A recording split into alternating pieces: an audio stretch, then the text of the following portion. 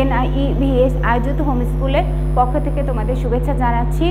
আমি মুক্তারা শারমিন, সহকারী শিক্ষক Bangla, national ideal English version school. প্রিয় শিক্ষার্থীরা, আশা করি তোমরা খুব ভালো আছো এবং নিয়মিতভাবে বাড়িতে তোমাদের পাঠ অনুশীলনের মধ্যে রয়েছো। আজকে যে বিষয়টি নিয়ে তোমাদের সাথে আলোচনা করতে যাচ্ছি, সে বিষয়টি হচ্ছে শব্দার্থ।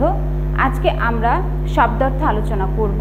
এবং তোমাদের আর একটা বিষয় বলে দিই, আজকে যে ক্লাসে শব্দার্থগুলো হচ্ছে, সেগুলো তোমাদের বার্ষিক পরীক্ষার সিলেবাসের মধ্যে রয়েছে এবং এর বাইরে তোমাদের আর কোনো শব্দার্থ পড়ার দরকার নেই। আজকে ক্লাসে যতটুকু শব্দার্থ হবে, ততটুকুই তোমাদের বার্ষিক পরীক্ষার সিলেবাসের জন্য তৈরি করা হয়েছে। এর বাইরে তোমরা কোনো শব্দার্থ পড়বে না। চলো আমরা পাঠ নম্বর কত, বাড়ির কাজ নম্বর কত দেখে নেই। আজকে আমাদের পাঠ নম্বর এগারো, বাড়ির কাজ নম্বর এগারো।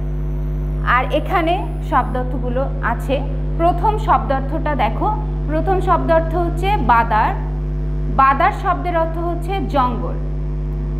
খ নাম্বার আছে মক্তব। মক্তব শব্দের অর্থ মুসলমান, বালক, বালিকাদের প্রাথমিক বিদ্যালয়। গ নাম্বার তর তর তরতর শব্দের অর্থ তারা, তারি।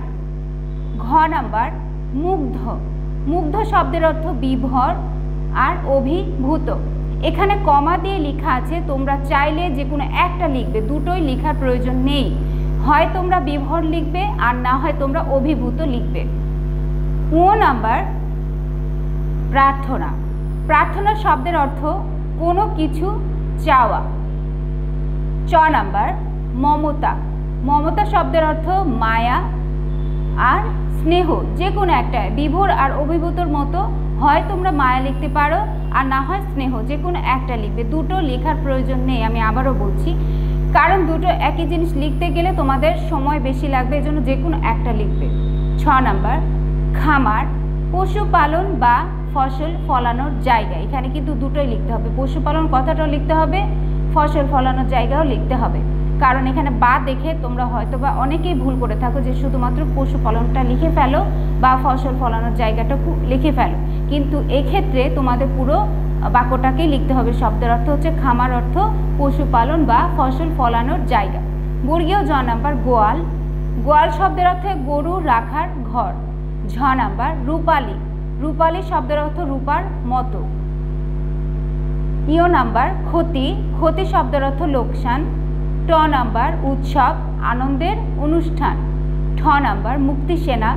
স্বাধীনতার জন্য যে যুদ্ধ করে। ড নাম্বার।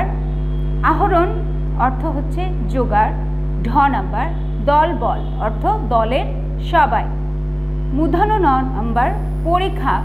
পরীক্ষা শব্দের অর্থ শত্রুর আক্রমণ থেকে রক্ষা পাওয়ার জন্য মাটির মধ্যে তৈরি গর্ত। এই শব্দের অর্থটা কিন্তু একটু বড়। এটা কোনোভাবে ছোট করা যায় না, কারণ তোমাদের পরীক্ষাটা বুঝতে হবে এই জন্য বিস্তারিতভাবে লেখা হয়েছে। তাহলে তোমাদের টোটাল শব্দার্থ এইগুলো ক থেকে মূধন ন পর্যন্ত, আর তোমাদের বাড়ির কাজ শব্দার্থ ক থেকে মূধন ন পর্যন্ত থাকল, তোমরা অবশ্যই বাড়ির কাজ জমা করবে।